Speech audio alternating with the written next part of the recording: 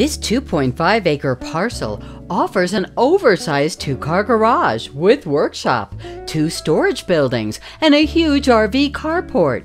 Jen Bowen can tell you more.